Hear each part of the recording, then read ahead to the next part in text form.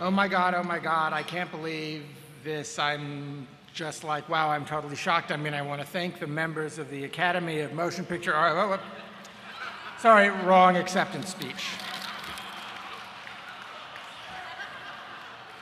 This is um, William Faulkner's uh, acceptance speech for the Nobel Prize in 1950.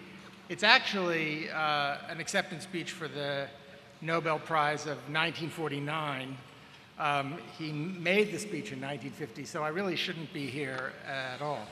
Um, but it's a beautiful speech.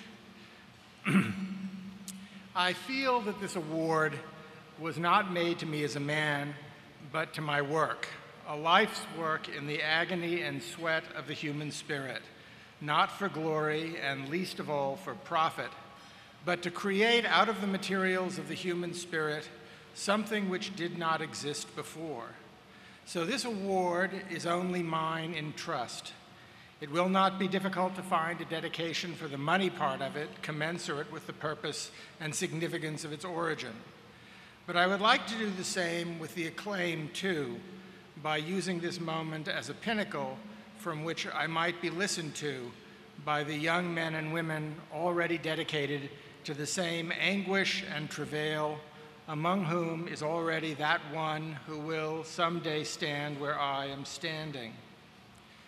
Our tragedy today is a general and universal physical fear, so long sustained by now that we can even bear it. There are no longer problems of the spirit. There is only one question when will I be blown up? Because of this, the young man or woman writing today has forgotten the problems of the human heart in conflict with itself, which alone can make good writing, because only that is worth writing about, worth the agony and the sweat. He must learn them again.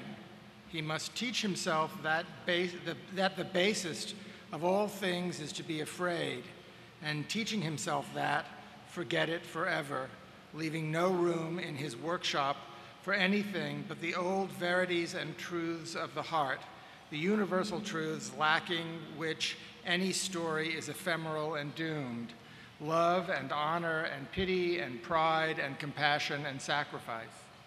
Until he does so, he labors under a curse. He writes not of love, but of lust, of defeats in which nobody loses anything of value, and victories without hope, and worst of all, without pity or compassion. His griefs grieve on no universal bones, leaving no scars. He writes not of the heart, but of the glands. Until he learns these things, he will write as though he stood among and watched the end of man. I decline to accept the end of man.